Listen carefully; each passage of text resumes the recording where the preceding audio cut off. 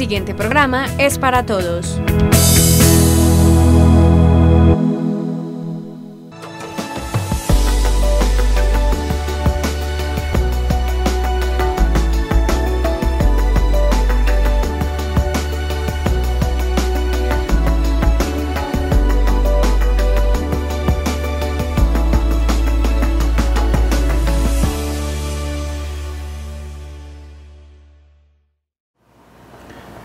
Televidentes de Tinteando con la firma Buenas noches. Nuestro tinto de hoy, que es de los Andes Cooperativa, no lo vamos a tomar con el profe Jorge Ballesteros, profesor de la Universidad de Antioquia, eh, que enseña gestión ambiental. Y vamos a dialogar con él eh, sobre la movilidad de nuestro municipio. ¿Por qué un profesor de gestión ambiental hablando de movilidad? Esa es la pregunta. Eh, profe Jorge Ballesteros, eh, bienvenido a Tintiendo con la firma, buenas noches. Eh, bueno, usted muchas gracias acá y bienvenido pues disfrutar un buen, de un buen eh, tinto y pues ponerle la firma al asunto y dialogar un poco sobre eh, esos asuntos que tenemos hoy en día que son coyunturales no solamente digamos a, a grandes ciudades, sino que también en municipios, digamos, o localidades mucho más pequeñas, como en este caso el municipio de Andes y entre otros están viviendo y es el, el, caos, el caos que estamos sufriendo por la ciudad moderna y el tema de la motorización. Y eso nos está llevando a replantear los, los ejercicios que se realizan de visión de las ciudades y los territorios que ocupamos en una visión que es una visión de ciudad sostenible. O sea, un tema donde tenemos las máquinas bien, pero es un tema de- que se orienta más hoy en día hacia el tema del comportamiento de los humanos. ¿Cómo nos comportamos? Es la, una de las grandes preguntas eh, y asuntos de la movilidad. Bueno, a ver, eh, acá en Andes se ha, hace, digamos, un promedio de unos tres años, se vienen dando unos cambios que, cambios en movilidad que han influido en la cultura del municipio, digámoslo así, porque se empezó con, con que los buses y las escaleras, todo el mundo se cuadraba, era en el parque. Sí, ahí se, digamos, era la terminal del transporte, digámoslo así, sí, los despachaderos de buses, de escaleras, de los carpatis, todo era ahí. Y eh, de un momento a otro pues se decidió que ya no podían seguir ahí, entonces se desplazaron hacia lo que hoy llamamos la plaza de mercado galería, donde se piensa a futuro hacer una terminal de transportes ahí. ¿sí? Entonces eso ha llevado a que los, la gente pues cambie esa, esa cultura de que compraban el tiquete y ahí estaba el bus. No, ya tienen que bajar hasta lo que llamamos pues la terminal y allá hacen ese, ese proceso. ¿sí? Eh, lo otro es que se ha venido también inclusive con la idea de, ir sacando también los camiones. Y la gente pues ha sido receptiva a, ese, a esos cambios. Más sin embargo, la gente se queja mucho de que ya no pueden cuadrar una moto o no pueden cuadrar un carro en el parque porque viene la sanción. Y también eh, muchos turistas se quejan de eso, porque ellos van a otro municipio y se pueden parquear en el parque en cualquier parte. Se parque en cualquier calle, ¿sí? Mientras que acá no. Entonces eh, dicen, no, es que estamos echando a los turistas que vienen a dejar la plata aquí. ¿Qué opinión le merece esa parte? Hay muchas cosas por observar. Lo, lo primero sí es, sí, eh, desde hace años que vengo al municipio, pues a, a la seccional Ah, de acá del suroeste, sí, Ah, hace bueno, un sí. par de años. Eh, sí, recuerdo la última vez que vine, fui a, a una esquina donde venden un, pues hay una empresa de transporte. Cuando me dijeron, no, eh, ya no es acá, vaya a la terminal de transporte y, notamos como una, una, una, una diferencia en eso. Sí. Eh, es chévere, digamos, ese tema porque eso permite, digamos, un ejercicio de, de planificación del territorio y un tema de, de- de mejorar el tema de la logística. Por un tema, el tema de la logística, en este caso de transporte de pasajeros, y ubicarlo en un solo sitio es bienvenido. Todas las urbes lo hacen Ah, sí. y mejoran las condiciones. Caminemos un poquito más, no está mal, ¿sí? Sí, y caminar es delicioso. Lo otro es el tema de- del estacionamiento en las vías. Eh, en ninguna parte del código de tránsito define que cuando usted tiene su licencia de conducción puede estacionar su vehículo en cualquier lugar. En cualquier lugar. Entonces está apareciendo una cuestión como, como rarísima en Colombia. No solamente es problema acá, es en todo el país. Ah, el sí. tema de casi que lo podríamos estar como el, como el derecho a estacionar. O sea, compro mi carro y tengo el derecho a estacionar. Por ejemplo, la ciudad de Medellín y su Valle Aburrá, 50% de la congestión se debe a vehículos estacionados en vía. Sí. Así de sencillo. Entonces aquí viene un montón de cosas el tema de cómo estamos planificando el territorio y esa capacidad en la planificación de los usos del suelo mixto. que nos permiten tener viviendas, sitios comerciales, prestaciones de servicios, entre otros. Y frente a eso y esa motorización es el tema de cuál es la capacidad de estacionamiento que tenemos. Entonces, vamos a tener eh, capacidad de estacionamiento para todos los vehículos que llegan actualmente para todo lo que existe. Entonces, donde llega un tema de un ejercicio, digamos, de, de, apoyo mutuo y es donde las autoridades o el gobierno tienen, digamos, un tema de sacar unas, unas normas y por otro lado, digamos, de el, el, el, usuario de su vehículo debe tener también un comportamiento que lleva el tema del respeto, digamos, el tema de las vías. Entonces es un tema, digamos, que tiene que ser eh, también paralelo. Y al privado, pues, hombre, si el privado tiene una prestación de un servicio, no sé, lo que sea, pues, hombre, debe dotar el, debe dotar el lugar con mínimo unas zonas de estacionamiento. O sea, si desea, digamos, si considera que la persona que ingresa a su negocio, sí, o a ese lugar, es una persona que llega en carro. La gran pregunta es, que dejamos acá es, ¿cuántos de los televidentes han estacionado su carro, digamos, al lado puede ser acá de, de, las mesas del parque. Sí, ¿Cuántos han estacionado su, su, moto al lado de las mesas del parque? No. ¿O cuántos han ido a comprar alguna cosa en un supermercado y entran en el carro, en el carrito de mercado, pero no con su carro? O sea, el, el, carro a su lugar, la moto a su lugar y los espacios para caminar, digamos, en su lugar. Entonces me, me dejó usted pensativo con eso, de que nosotros una vez adquirimos el pase, y adquirimos el carro o la moto, pues nos sentimos con el derecho de que podemos estacionar en cualquier parte y eso no es así. Eso no es así. No, es un tema de respeto. O sea, el, espacio público es un espacio público de todos. Eh, ¿Cuántas personas tienen carro? ¿Cuántas personas tienen moto? Entonces, eh, el hecho de tener mayor poder adquisitivo me da, la, me da la, capacidad entonces de apropiarme del espacio público de todos. Eh, dialoguemos. Entonces, donde viene el tema es cuántas personas caminan, ¿Cuántas personas, pues, por ejemplo, montar en bicicleta, eh, personas en, silla de ruedas, eh, personas en etapa de senectud o, adultos mayores que llamamos niños? Entonces, tenemos que pensar en ciudades un poco más o territorios más amables para, para todos. Y es un tema de la movilidad activa, la movilidad sostenible, eh, la seguridad y más que todo el tema de la amabilidad en las vías es fundamental. O sea, el respeto a la vida por el otro tiene que ser fundamental y parte, digamos, también de nuestro comportamiento. Lo que pasa es que, a ver, profe, eh, si comparamos con países de Europa, pues vemos que, que, nosotros somos muy folclóricos en eso, ¿cierto? Total. y y uno ve, eh, fuera de que somos muy folclóricos, es, es la cantidad tan grande de, de, de, de, motos, sobre todo en Andes, y, bueno, muchos vehículos también, pero más, pues muchos carros, pero más que todo son motos. Y fuera de eso, como le digo, los lo folclóricos que somos, entonces hace que, que, que, sea directamente proporcional a mayor cantidad de vehículos, mayor cantidad de accidentes. Eso es una pregunta que debemos solucionar, digamos, en, en, todo Colombia y Latinoamérica. Podemos tener varias cosas y son análisis que aparecen. Por ejemplo, la tasa de motorización, o sea, estoy hablando de carros solamente, de países europeos está en el orden de los 700, 800 vehículos por mil habitantes aproximadamente. En, en, Europa, más, en, perdón, en Estados Unidos, entre 900 y 1000 vehículos por mil habitantes. O sea, cada habitante con su carro. Casi que cada habitante, pero nos vamos para la comuna del poblado de Medellín y existe una tasa de motorización de 1200 vehículos por mil habitantes, o sea, superior, 1,2 vehículos por mil, por, o sea, 1,2 vehículos por persona. Por persona. La pregunta es cómo estamos aquí en la tasa de motorización, en este caso de motos y, de, carros, para, para observar esa variable. Y la pregunta es, sigue, digamos, como dialogamos ahora, le vamos a, o sea, cada que llega un carro nuevo construyó vías. Para nada. y, el, y, el, otro tema es, estamos comprando vehículos casi que para dejar de caminar por pereza. O sea, unas camionetotas inmensas, como para ir a la esquina a comprar una bolsa de leche. Pues si tienes esa camionetota, pues vaya a comprar una helado aquí de para la casa de ordeña, la pues, si queremos como, como pensar en esto. Entonces ahí es donde, donde existen muchas cosas y es un tema. Tengo mi vehículo, tenerlo no es malo, no lo satanicemos. Carro o moto. Pero por favor, ojo, un tema de un comportamiento frente al uso del vehículo.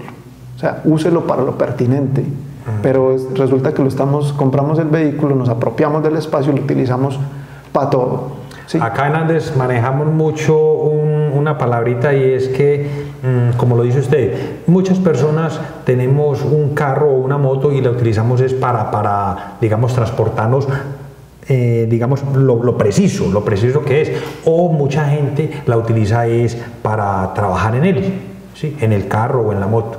Pero hay una palabrita y es que muchas personas utilizan un carro o una moto aquí en Andes, como se dice, que para quemar gasolina. El tema del ocio. Eh, la cosa. solo para eso. Solo para el tema de las motos eh, hay que mirarlo con, con, con, lupa y insisto nuevamente, digamos, a las personas que nos observan acá, y bueno, aquí tomándonos un tinto demasiado alegre, es no la satanicemos tan de fondo, sino eh, miremos cómo nos comportamos. Colombia es un país que hoy por hoy tiene 7 millones de vehículos, eh, motocicletas en las vías. 7 millones en aumento. Cerca del 95 a, cerca del 95% de esas motocicletas en el país están en los estratos 1, 2 y 3. Sí. Niveles más bajos, sí. Muchos de ellos están en el tema de encomiendas, muchos de ellos están en el tema pues, de apoyos a domicilio, solo tienen como trabajo, o un montón de cosas, digamos, digamos, asociadas digamos, a la motocicleta. Pero a su vez representan para el país eh, cerca del 50% de los muertos en las vías. En el país se generan... Se habla, de que de producen más muertos que la misma guerra. Eh, sí, si nosotros miramos que, que hoy en día podrían estar el número de muertos en, motocicleta en el país casi que por debajo del tema del conflicto interno armado, el, tema, del conflicto interno armado. Por motos pueden ser muertos 3.500 por año y el conflicto interno armado hoy en día no, no deja 2.000 muertos, sin contar los heridos. porque los lesionados por motocicleta son muchos. Y lo otro es que cerca del 50% de los eh, accidentes a peatones provienen de las motocicletas. Entonces el tema es, bueno, está la motocicleta, pero estás como conductor. O sea, tener la capacidad, tener el comportamiento, sabes qué significa tener la licencia de conducción. Entonces, una de las primeras cosas, tengo mi licencia, respeto mi vida. Dos, respeto tu vida. Es algo fundamental. Ese ha sido un tema muy, muy delicado y es, no sé si es por lo folclóricos que somos, como le decía ahora, pero casi que, como se dice por ahí, a una persona le entregan el pase y dicen por ahí, hombre, a este muchacho le salió el pase en un paquete de chitos. Porque en realidad no, no, no hay como esa responsabilidad, esas exigencias, no sé si es del Ministerio del Transporte o qué, para entregar una licencia de, de tránsito que, que, en realidad, pues, gente que no desconoce totalmente las, las reglas. Bueno, ahí hay una cosa que hay, se, se está discutiendo en todo el país y es el tema de ¿Quiénes tienen la responsabilidad o la función sobre, por un lado, el tema de las escuelas de enseñanza y aprendizaje? O sea, una motocicleta sí sale ya en un paquete de chitos, te entregan la licencia, pero resulta que deberíamos tener un proceso de, de educación y formación al respecto antes de tener una licencia, una licencia y mirar si tener la capacidad. Claro, Exacto. Dos, el tema de las escuelas de, de las escuelas de enseñanza y aprendizaje. ¿Sí? Eh, que viene, el tema de las revisiones técnico-mecánicas por los centros de diagnóstico motor, entre otros. Es una competencia que en el país le compete a la Superintendencia de Transportes. Entonces el tema es, falta mayor, digamos, eh, capacidad de la Superintendencia para brindar un poco más, si no tienen el control, brindar un poco más de funciones a las autoridades locales para hacer control a esto. Afortunadamente las autoridades locales carecen mucho de control para hacer, digamos, seguimiento a estas academias de conducción ¿sí? de verificar el tema de la conducción a las personas. Pero ahí viene una cosa que se está tratando de mirar, es la licencia de conducción te formó, ¿cierto? Eh, pues la, escuela de tránsito te, forma, te forma. Te dice, vea, usted está capacitado y tenés aquí un certificado, solo un certificado, pero la licencia te la da una autoridad de tránsito. Entonces ahí es donde la autoridad de tránsito tienen que tener una capacidad y una función para determinar y validar si esta persona, si tiene las capacidades, y una vez tenga las capacidades, te entrego la licencia de conducción, porque se la entregan las autoridades de tránsito. A ver, entonces las escuelas certifican que usted hizo en las capacidades. Sí. Es la cosa. Pero es el, Ministerio de Transporte, pues, la Oficina de Tránsito el que... Las autoridades locales, las que deberían verificar si eso sí está cumpliendo. Y ahí es donde se pueden mirar diferentes modalidades. Por ejemplo, en Europa y específicamente en España, hoy en día las licencias se miran licencias por puntos. ¿Qué significa una licencia por puntos? Vos tenés la licencia y tenés 12 puntos cargados a tu licencia. Y por cada infracción que usted cometa, dependiendo, la dependiendo del nivel de, de la infracción, te voy restando puntos. Y cuando ya te resto, te caben los 12 puntos, pues señor, qué pena, la licencia se queda acá y usted se convierte, usted es un peligro para, las, para la sociedad en tu, en tu vehículo. O sea, en cualquier tipo de vehículo. Y hoy en día la normatividad es muy laxa y por eso vemos lo que sucede en el país. O sea, una persona va en su carro o en su moto, eh, eh, pues eh, comete una, algo frente a, otra persona, la lesiona, la mata y no termina en nada. ¿Sí? No termina en nada. La conclusión fue un accidente de tránsito, no más. Pero en últimas eso es un tema de acciones temerarias que pueden provocar la muerte del otro. Entonces es un tema que falta más de control en el país y que no es ajeno, digamos, a, a la capacidad que tengan las autoridades locales. Se requiere un tema de trabajo conjunto y comportamiento de las, de las personas. A ver, profe, eh, yo creo que todo no es malo, Ah, hemos mejorado en algo, sí. porque usted me estaba haciendo acordar ahí de que cuando yo saqué por primera vez el pase de conducción de carro, eh, el- el- la única prueba que yo hice fue la de llevar al inspector de tránsito a comprar unas cosas en el mercado y llevarlo hasta la casa y listo, eso fue todo.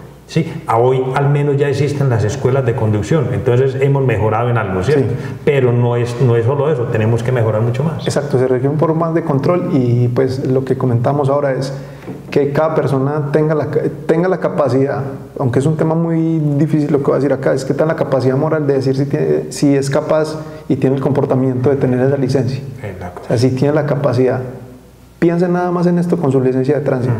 Tengo la capacidad de proteger mi vida y la del otro. O sea, tener la responsabilidad. Ese sería un principio. O sea, yo cuando tengo una licencia de conducción independiente, tengo la capacidad de proteger mi vida y la del otro. O sea, piensa en eso primero. Y una vez lo tenga ya definido, articulado, diga, hey, bienvenido, salgo a la vía, conduzco, doy prioridad a las personas. ¿sí? Entonces es un tema de, de- de jugar, eh, de teoría de juegos donde la vida está eh, de por medio, la vida propia y la del otro. Bueno, hay una palabrita de la que estamos hablando ahora fuera de cámaras y era la movilidad sostenible. En un municipio como Andes, que tiene una topografía tan, tan quebrada, ¿se puede aplicar esa parte de movilidad sostenible? Hay una cuestión, Juan, y aquí el tinto va para largo y es eh, la movilidad sostenible. Dos cosas. Venimos de una ciudad moderna que está ligada al transporte, a la infraestructura y es un tema técnico, eh, robots de máquinas. Sí, sí. Y aquí donde viene- los seres humanos no le deben tener miedo a las máquinas. Los seres humanos le tienen que tener miedo a los mismos humanos porque son los que tienen la capacidad de mover las máquinas. Claro que sí. Entonces aquí donde viene el tema y es, pasamos de una ciudad moderna ligada al transporte, técnica, infraestructura de civil, a una, a una, a una ciudad que tiene que ver la sostenibilidad como vertiente. ¿Qué significa la sostenibilidad? Pensar en que el futuro que tenemos en el presente y, y las necesidades que nosotros tenemos como ciudadanos sea igual, gocemos de ella, pero que las futuras generaciones puedan gozar de esas mismas necesidades, pero de mejor manera.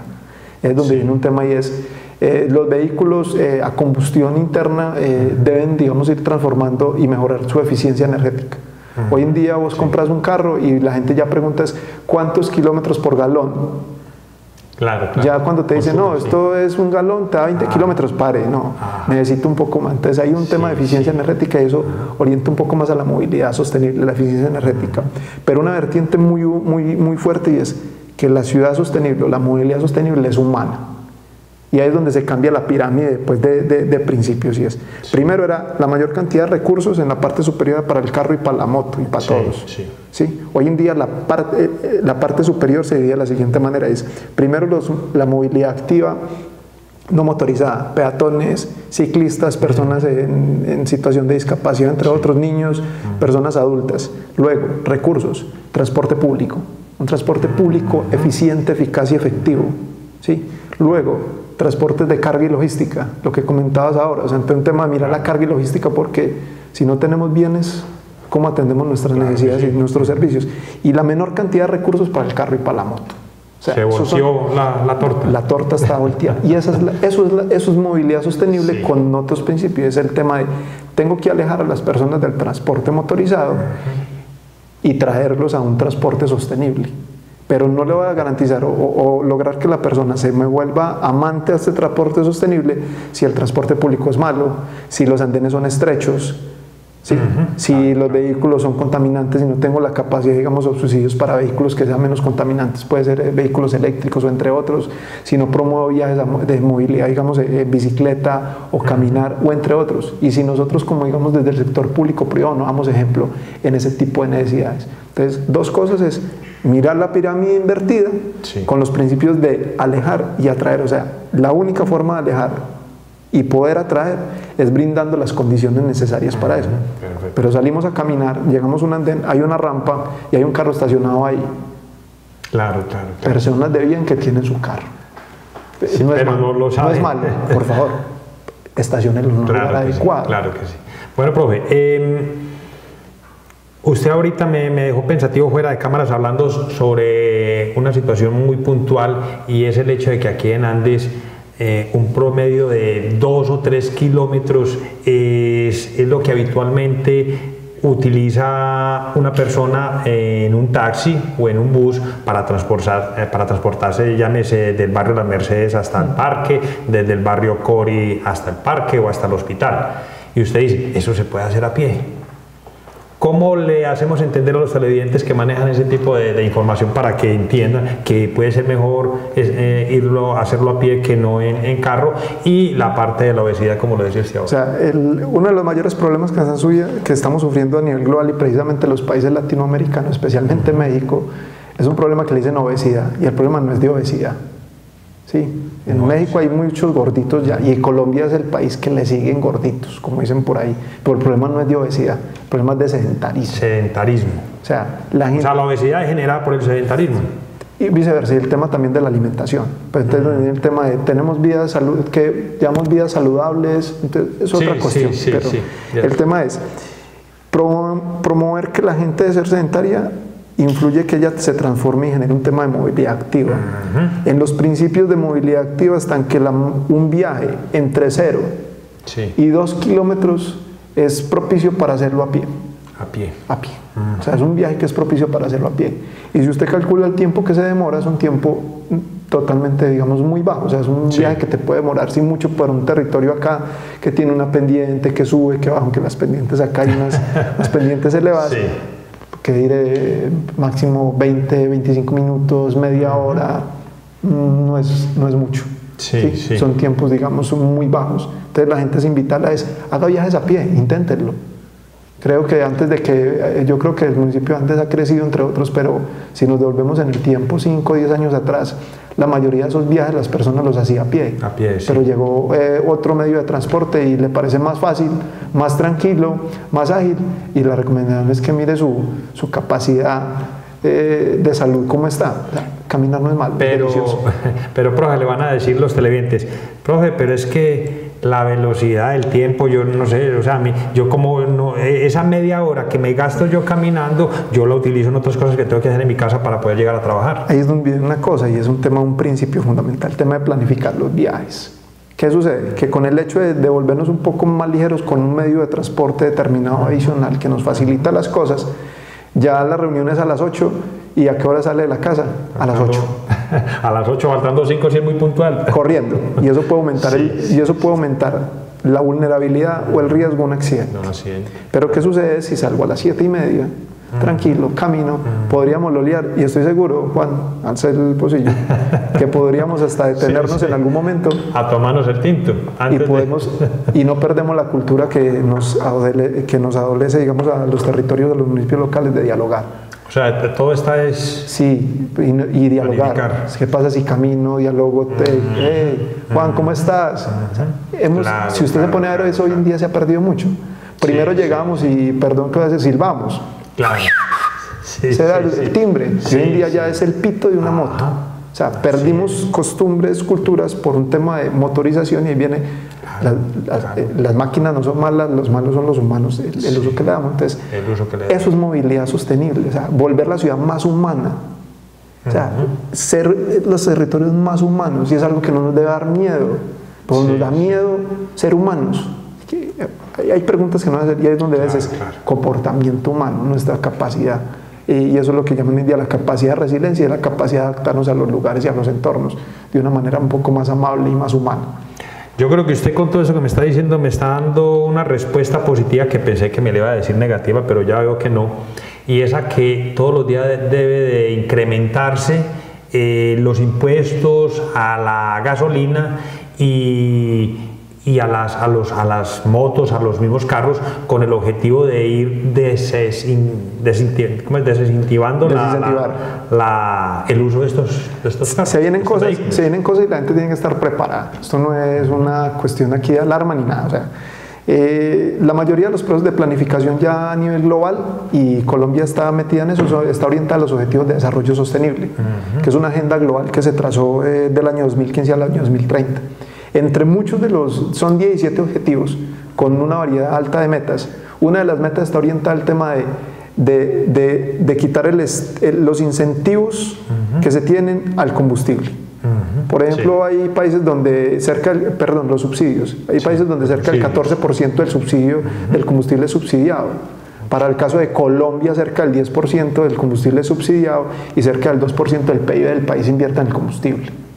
Sí. Bastante. Bastante. Y fuera de eso, eh, más motorización lleva casos como el caso del Valle Aburrá, donde eh, los, el transporte, digamos, privado, carros y motos, para la audiencia que está acá, por día los carros y las motos en el Valle Aburrá le dan más de 700 veces la vuelta al mundo en los viajes que realizan por día y contribuye nada más. El, el, transporte en general, en general contribuye con cerca del 70% de las emisiones contaminantes. Y si miramos el tema de las motos y los carros, están contribuyendo con cerca, en el total global, con cerca del 50% de las emisiones. Y ahí solamente eh, miramos que se desplaza una proporción cercana a menos del 50% y un parque automotor de 1,2 millones de vehículos. Entonces, eh, el tema va muy ligado. Entonces, el tema es, tenga su carro, sí. bacano, chévere, pero por favor, úselo de manera racional. Los países más desarrollados con tasas de motorización alta usan el carro y la moto de una manera racional. Muy racional. Pero para poder alejar de ahí y atraer necesitamos transportes públicos más eficientes, más, chéveres, y lo otro es ciudades que sean más amables para, los, para la movilidad activa, o sea, mucho más amables. Ahí es donde la pirámide invertida cobra fuerza. Mm, Pregunta para los municipios del, suroeste y Andes es, ¿cuánto de los recursos de infraestructura se invierten en peatones? ¿Se invierten en promover la movilidad activa? Claro, es una pregunta que, se deben, que nos debemos de cómo realizar. Perfecto, sí. Bueno, profe, ya para terminar, fuera de esa pregunta que usted nos deja, eh, ¿Qué consejo le daría a los televidentes acerca de, lo de la utilización racional de la moto o del carro? Gran pregunta, o sea, ténganlo, gócenlo, disfruten, pero por favor, eh, piensen primero antes de conducir un vehículo el comportamiento, el respeto, primero respete su vida y la del otro, fundamental. Y cuando mire su vida, mire la de su familia, fundamental. Eh, conozca su vehículo, qué vehículo tiene. Claro cómo se comporta el vehículo, háganle revisiones técnico-mecánicas como mínimo, eh, revisiones de gases, o sea, tal cual, o sea, de la, sí, de una manera muy, muy propia. Y piense que cuando está montado en su vehículo, eh, está jugando con la vida suya y la del otro. Y dos, cuando ya tiene la capacidad y va en su vehículo, tenga presente una cuestión y es que eh, cuando vaya, digamos, a estacionar su vehículo, y hay una cuestión del 30% del tiempo que va en un vehículo, es dedicado a buscar dónde estacionar. dónde estacionar. Es un tema de una media ya internacional. Es cuando vaya a estacionar, no lo estacione en cualquier lugar, busque, los, busque sitios adecuados. ¿sí? Los y sitios por, correctos. Exacto, y antes de sacar su vehículo, piense qué son, cuáles son las actividades que va a realizar y piense si es necesario o no es necesario su vehículo. ¿Y los costos que implica eso? Eh, los, Estos costos que implica, por ejemplo, un vehículo medio se desplaza 15 mil kilómetros al año. 15 mil kilómetros más o menos 10 toneladas de emisiones de dióxido de carbono. Eh, por ejemplo, un sitio como el Valle Aburrá invierte el 4% de su PIB para atender necesidades asociadas a la contaminación atmosférica, un montón de cosas. Entonces, no es malo. El tema es que eh, hoy por hoy son generadores de unas problemáticas, pero requiere un tema de entre todos colaborarnos para paliar esas situaciones y mejorar las condiciones de los territorios, que sean más seguros, que sean más amables y por último que sean mucho más sostenibles. Profe, voy a perder una apuesta con usted. ¿Apuesto a que usted tiene moto o tiene carro? Eh, ninguna de las anteriores. Ando en bicicleta para arriba y para abajo. ¿En bicicleta? Sí, señor. Ese es mi medio de transporte. Y caminar. eh, esa es la pasión. Hasta acá. Me vengo desde Medellín hasta acá desde que pueda. Desde Medellín hasta Andes, sí. en bicicleta. Terminal de transportes del, del sur, eh, terminal de Andes, 114 kilómetros. Llego a las 7 de la mañana, dejo el bolso, lo mando en una empresa de transporte y estoy llegando acá tipo 11 y media, eh, reclamo mi maleta, me voy para el hotel, me cambio, 2 de la tarde estoy otra vez en la Universidad de Antioquia, 5 kilómetros, me voy en bicicleta, vuelvo en bicicleta, desde que las condiciones del tiempo sean favorables, es exquisito venir y el regreso a Medellín en bicicleta es espectacular, eh, un paisaje asombroso y parece uno como en medio de, de la montaña, entonces es un tema donde es un tema de capacidades y es un tema donde eh, se disfrutan todos y por lo pronto eh, hasta el momento llevo tres viajes, Medellín, Andes, Andes, Medellín, en bicicleta. Ya tengo 600, cerca de 600 a 700 kilómetros ahorrados, Sí, señor. eh, que equivalen, si fueran un vehículo, a una emisión determinada. Y personalmente tengo algo como un ejercicio de banco de carbono de reducción de emisiones, es cuánto ha sido mi, mi, mi ahorro. Y Eso. tengo un banquito.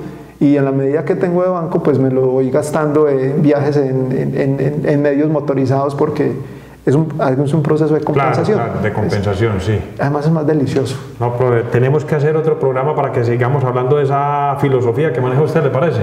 Es una filosofía global, es una filosofía de respeto, como hemos dicho ahora, es- el tema está en el respeto por el otro y lo otro, o sea, el fundamental, la vida, o sea, protejamos la vida, o sea, es, es- es esencial todo, sí. que la gente entienda la vida, la mía, la de mi familia y la del otro. Eh, creo que es un principio fundamental de la movilidad sostenible, es eso. Profe, le agradezco que haya atendido nuestra invitación. Pues, eh, Juan, tomémonos un tintico, Eso está muy bien. seamos amigos y pues bienvenido, estamos para Así es. dialogar. Eso está muy bien. Eh, televidentes, buenas noches y hasta un próximo programa.